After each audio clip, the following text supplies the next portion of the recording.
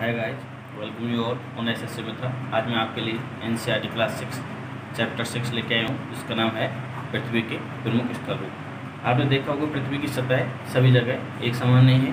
पृथ्वी पर अनेक अनगिनत प्रकार के स्थल रूप हैं। कहीं पर स्थल ऊँचा है, कहीं पर नीचा है तो कहीं पर समतल है। ठीक है, ये स्थल रूप दो प्रक्रियाओं के वजरूप बनते हैं। ठीक है, दो प्रक्रियाएँ कौन कौन सी होती हैं?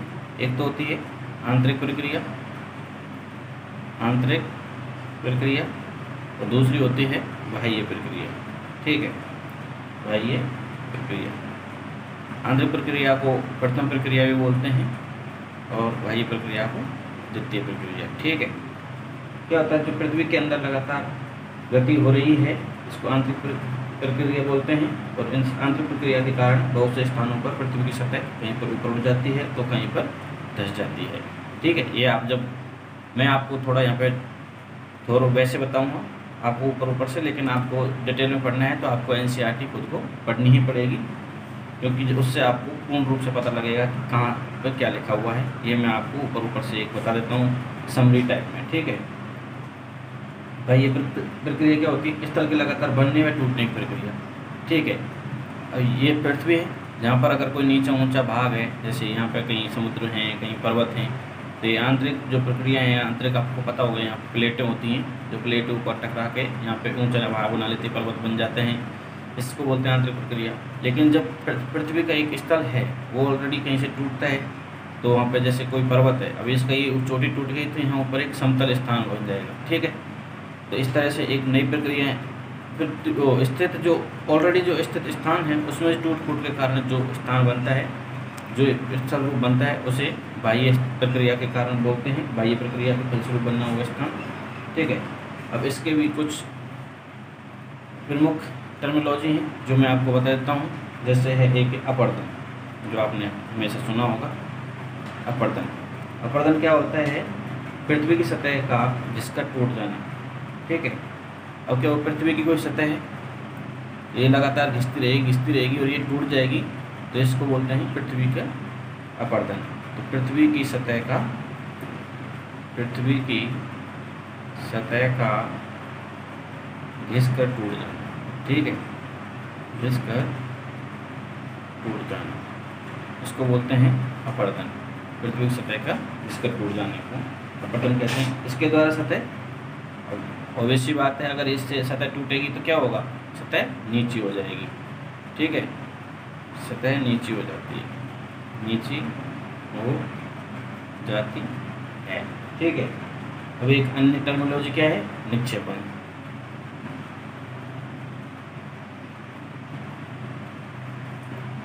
ये टर्म है निक्षेपण, जिसका क्या होता है कि स्थल को फिर से बनता है इसमें, निक्षेपण होकर जैसे नदी नाले होते हैं, नदी में एक कंकड़ वंकड़ अपने साथ लेके आती है तो कंकड़ इकट्ठा होते हुए होते हुए एक स्थान पर एक नई तरीके की आकृति बना लेते हैं, जैसे क्या बोलते हैं?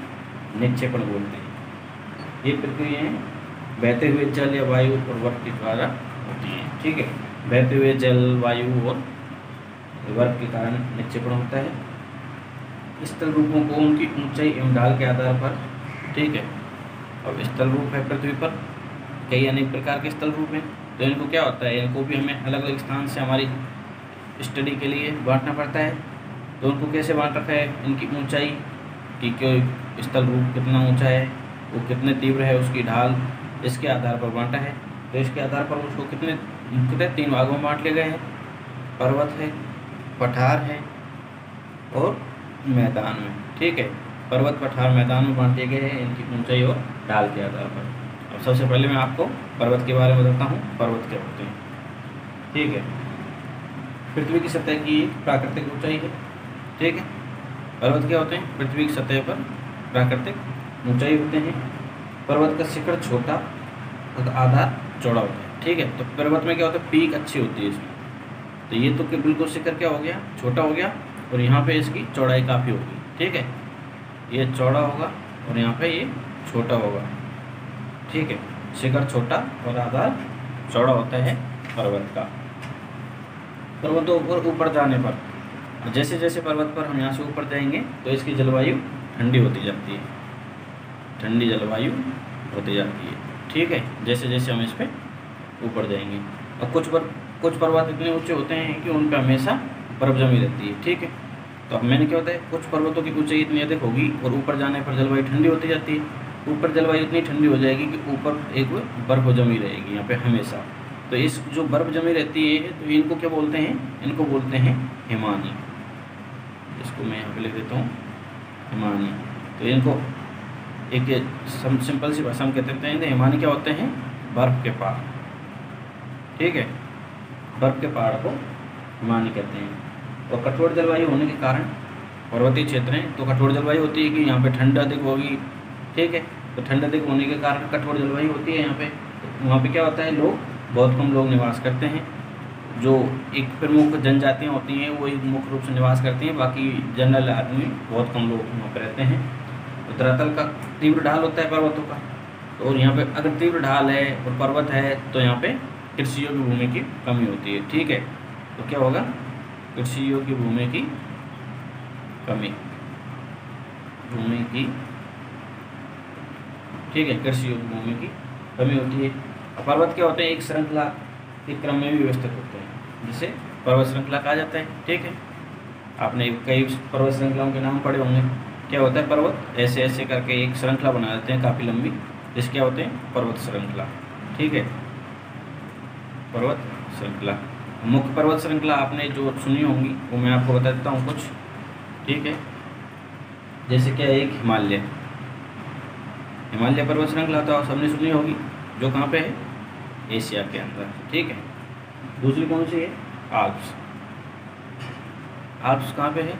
ये है यूरोप के अंदर। ठीक है। आल्प्स पर्वत श्रृंखला यूरोप में है। एंडीज पर्वत श्रृंखला। एंडीज पर्वत श्रृंखला कहाँ पे है?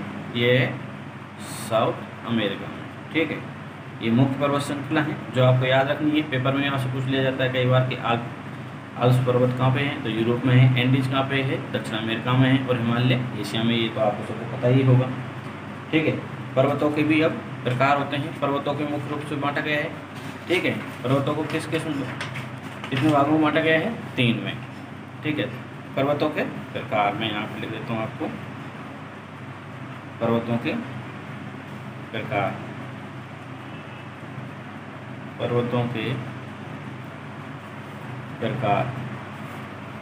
कितने हैं? तीन। कौन कौन से हैं?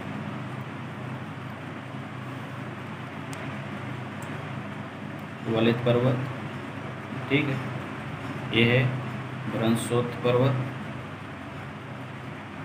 ब्रंशोत पर्वत, और कौन सा है? ज्वालामुखी पर्वत। ठीक है? ज्वालामुखी पर्वत। अब इसमें फ़र्स्ट आपको बता देता हूँ, कौन सा? वलित पर्वत।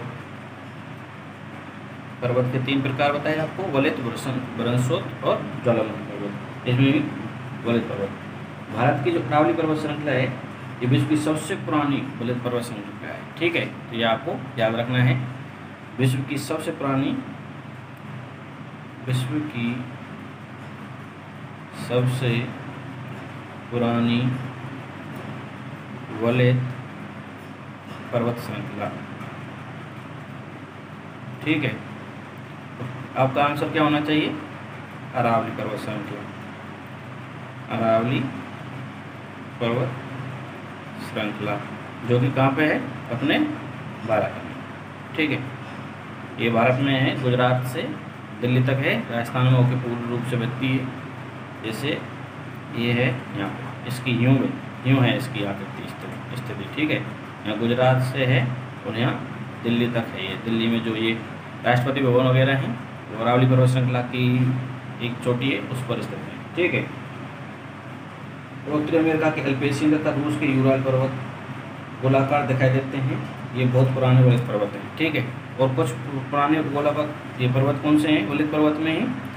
एक तो है अल्पेशियन पर्वत। ठीक है? कौन सा है? अल्पेशियन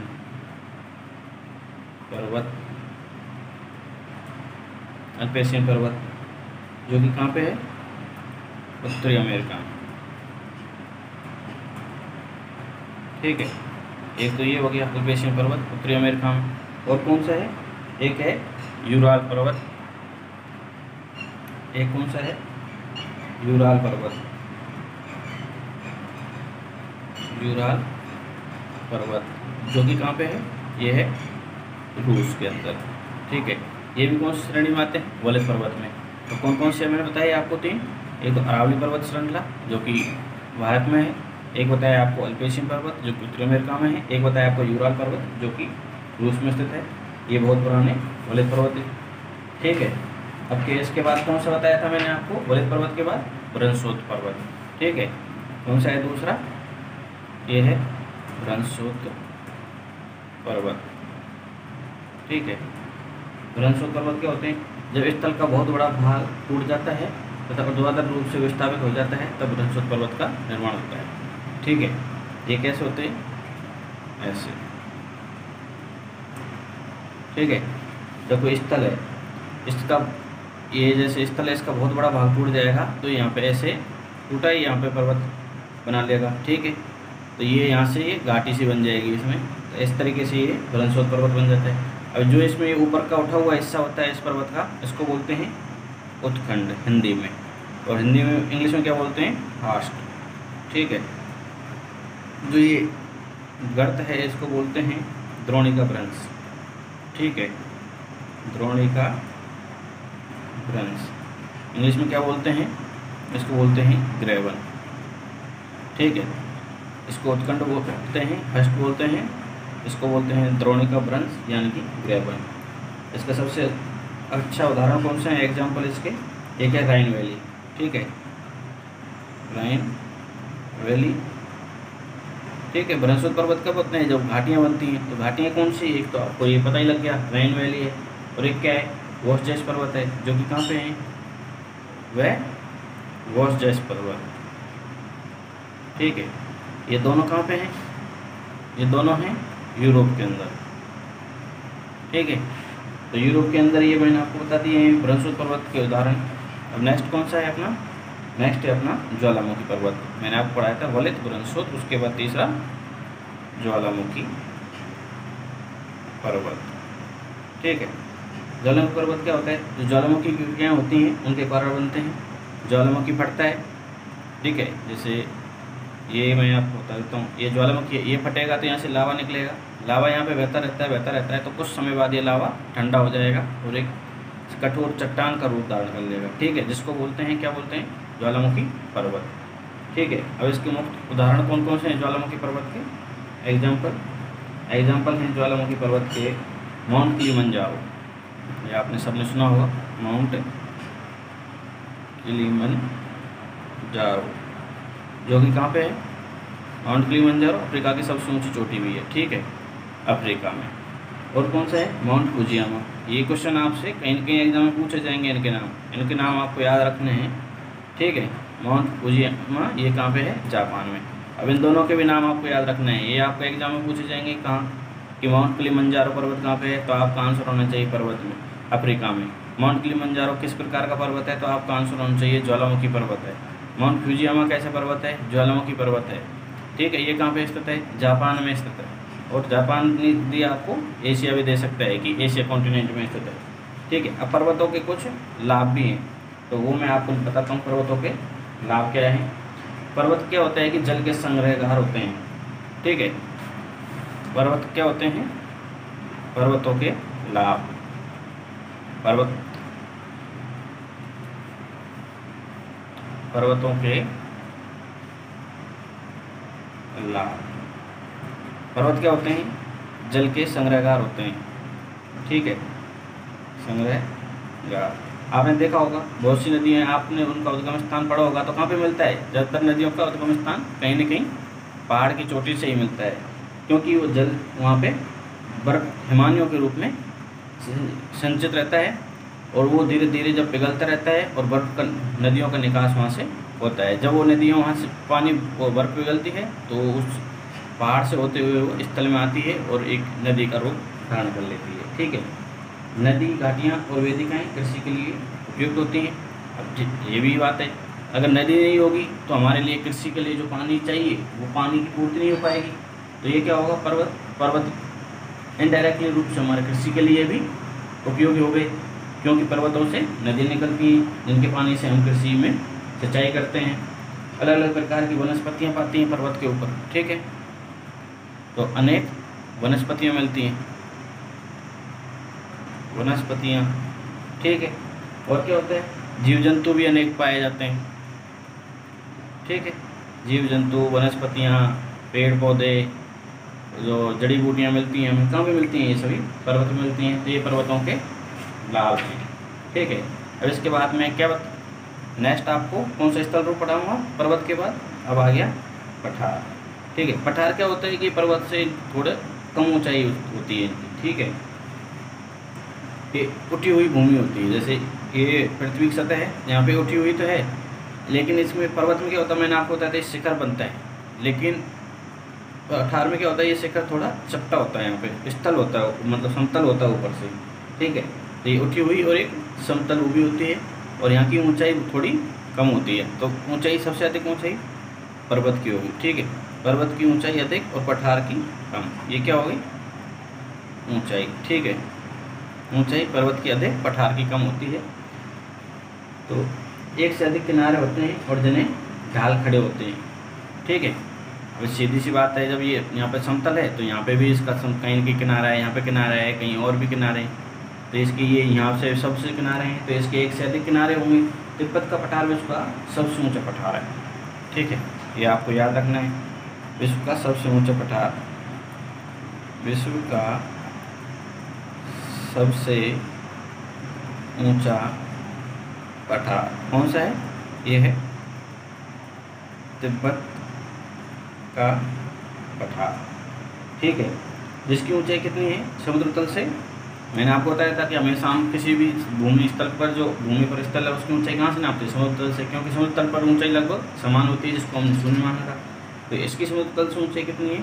तो इसकी है चार हज़ार से हज़ार मीटर। ठीक है? भारत का दक्कन का पठार, पुराने पठारों में से एक है। ठीक है? भारत में भी पठार हैं। भारत में कौन सा पठार है? दक्कन का पठार। दक्कन का पठार। कहाँ पे है? भारत में, साउथ साइड में है ये। ठीक है?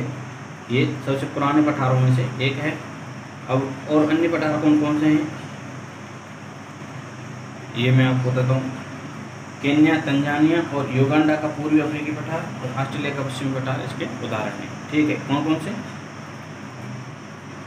केन्या, तंजानिया, या अफ्रीकी देश हैं तीनों?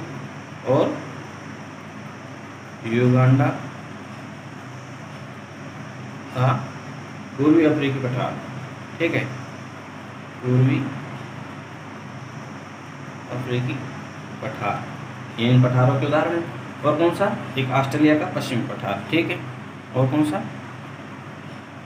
ऑस्ट्रेलिया का पश्चिमी पठार, ठीक है?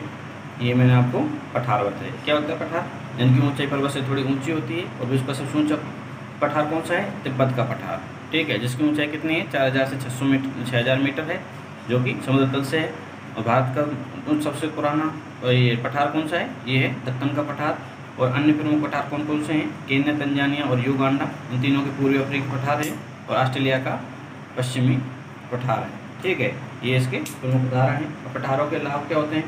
पठार ऊपर से समतल होते हैं तो इनमें खनिजों की प्रचुर मात्रा होती है। इसी कारण विश्व के बहुत से खनन क्षेत्र पठारी भागों में स्थित होते हैं। ठीक है तो क्या मैंने बताया आपको पठार का लाभ? पठारों के लाभ। ठीक है अठारह के लाभ मैंने बताया, आपको कि इनमें खनिजों की प्रचुरता होती है। ठीक है? तो क्या हो गया? खनिजों की प्रचुरता तो ठीक है, खनिजों की प्रचुरता होती है। इसी कारण विश्व के जो प्रमुख खनन स्थल हैं, खनन क्षेत्र होते हैं, वो कहाँ पे स्थित होते हैं? पठार विभागों में होते हैं। ठीक है? अफ्रीका का पठार प्रमुख है, जिसमें सोना और हीरा के लिए प्रसिद्ध है। अफ्रीका के पठार कौन से बताते हैं? केन्या, तंजानिया और युगांडा का पूरी पठार, ये किसके लिए प्रसिद्ध हैं? अफ्रीकी पठार, यहीं पे लिखे हुए इनको, ये हैं, इनमें कौन सा? सोना और हीरा। सोना और हीरा खनिज निकलते हैं, ठीक है। सोना और हीरा निकलते हैं अफ्रीका में, आपने पता होगा ये अफ्रीका में हीरे की सबसे बड़ी खान है, ठीक है। भारत में क्या होता है? भारत में एक छोटा नागपुर का पठार आपने सुना होगा, जो झारखंड और यहाँ पे है, ठीक है। तो इस ये छोटे नागपुर पठार में कौन कौन से खनिज निकलते हैं? भारत का कौन सा है? भारत का छोटा नागपुर का पठार। जब मैं पढ़ाऊँगा, तब मैं आपको ये पढ़ाऊँगा इसकी ना, छोटे नागपुर की स्थिति कहाँ पे है? ये झारखंड की तरफ़ है। इसमें कौन कौन से खनिज निकलते हैं? इसमें निकलता है कोयला, लोहा और मैगनीज। ये तीन ऐसे मुख्य रूप से इसमें निकलते हैं। तीन खनिज ठीक है। ये निकलते हैं भारत के छोटे नागपुर पठार में। और पठारी क्षेत्रों में बहुत से जलप्रपात हो सकते हैं, क्योंकि ये नदियाँ ऊंचाई से गिरती हैं। ठीक है। इनमें पठारों पे कौन से होते हैं? जलप्रपात भी इन्हीं पे होते हैं। ठीक है। जलप्रपात होते हैं। ठीक है, पठारों में ही होते हैं जलप्रपात। तो ये आप मैंने आपको N class six chapter six का पार्ट वन लेके आया हूँ। कल मैं इससे आगे आपको कंटिन्यू करूँगा। तब तक के लिए धन्यवाद। आप बने रहिए हमारे यूट्यूब चैनल पर। प्लीज़ शेयर एंड सब्सक्राइब कीजिए मैं आप अब मैं कुछ दिनों से हमारे यूट्यूब चैनल पर देख रहा हूँ कि जो नॉन सब्सक्राइबर हैं, उन्होंने हमारी वीडियोज़ को ज़्यादा देखा है। तो मैं जो नॉन सब्सक्राइबर हमारी वीडियो देखते हैं तो मैं उनसे रिक्वेस्ट करूँगा। प्लीज़ हमारे चैनल को सब्सक्राइब करें और इसी तरह मैं हम आपके लिए अच्छे अच्छे न्यूज़ लेके आएँगे और अच्छी अच्छी स्टडी मटेरियल आपको लिए उपलब्ध कराएँगे। जब तक थैंक यू